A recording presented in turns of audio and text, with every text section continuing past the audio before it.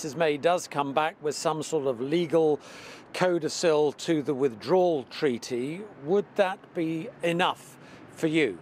No, it wouldn't, and she'd be very foolish to go down that road because she knows she has heard the debates in the House of Commons, she has read the public comments that have been made, and she has listened to the private conversations we and others have had with her, and she knows that that will not be sufficient, that the agreement has to be reopened, the backstop has to be removed, and it has to be replaced with something which the EU already are saying could be done anyhow.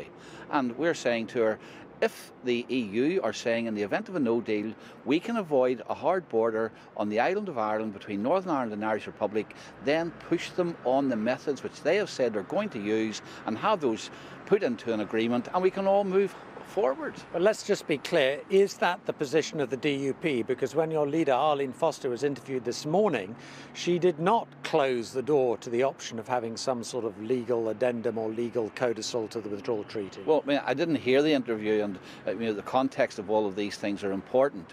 I can tell you what the party's public private view is on this, and that is that the withdrawal agreement, which is legally binding, cannot be in any way watered down by some letter which says that we don't intend this to be forever or whatever.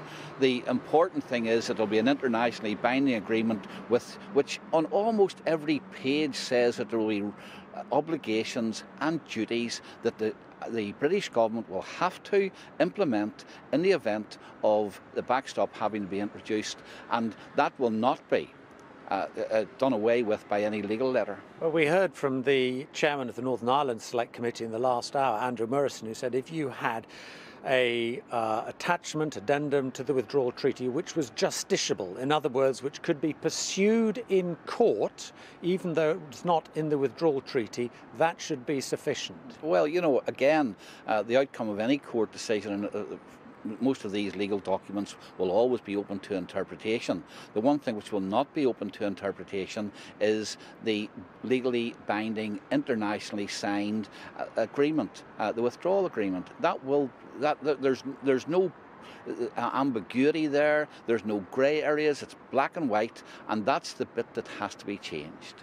If Mrs May, however, does go down that road, and if, and I grant you it's a big if, Parliament approves it, where does that leave the DUP and your agreement with the government? Well, I mean, first of all, I think it would be very foolish to come back to Parliament with an agreement which is similar to uh, the one which was turned down by 230 of majority uh, less than three weeks ago. Um, so I think that she's got to contemplate that. But secondly, even if she did get it through the House of Commons, she then has to introduce legislation to implement it. She will not have our support for that implementation.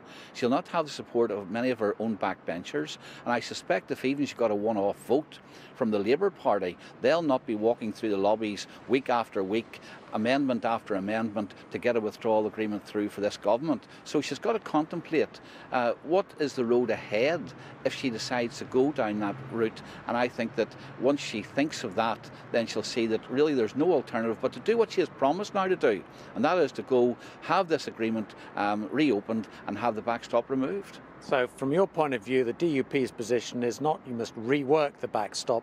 The backstop has to be axed, scrapped, removed, full stop. Yes, it has to be, and I mean, uh, there's a number of reasons for that.